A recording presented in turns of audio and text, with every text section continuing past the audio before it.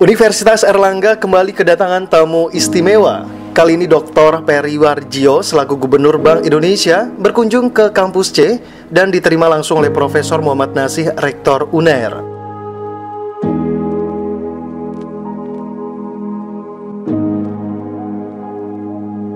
Kesempatan kunjungannya Senin 25 Maret juga dimanfaatkan Peri untuk memberikan kuliah umum bertemakan perekonomian Indonesia.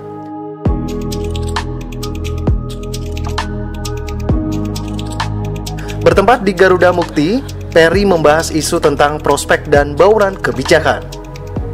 Perry menegaskan situasi Indonesia sekarang tidak melulu mengekspor batu bara maupun nikel, tetapi juga mengembangkan produksi dan manufaktur, sehingga membutuhkan sarjana ahli yang kompeten untuk masa depan perekonomian negara. Kuliah ini juga dihadiri oleh 600-an mahasiswa UNER dan juga tamu eksternal. Dari kampus C, UNER Channel melaporkan.